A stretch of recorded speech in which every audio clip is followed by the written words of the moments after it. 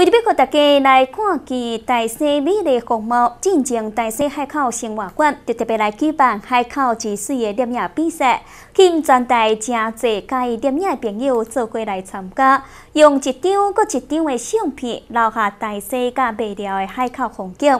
最近大西国小校长地进良就将这的相片来整理做一本册，希望讲会当互外地游客甲在地乡亲，拢会当看到各种的海口的水。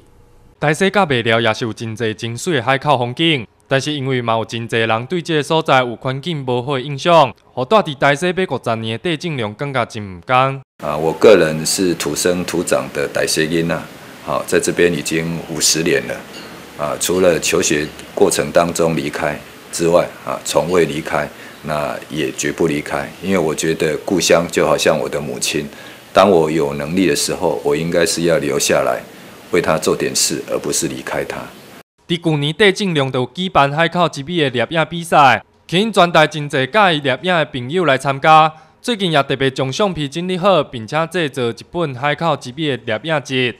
那有感于这几年来啊，外界对于台西啊海口这一片土地啊有重大的误解啊，甚至扭曲啊，举行了一个啊全国的摄影比赛啊，邀请。国内的啊摄影高手啊来到这一个台西海口啊，用照片啊来证明台西的美丽。那希望这一本这一个摄影集的问世啊，能够来为我们台西这一片土地找回尊严，也找回公道。这本摄影集内底的相片展现海口风景的美丽，所以受到真侪人的肯定，甚至有人认为相片是假，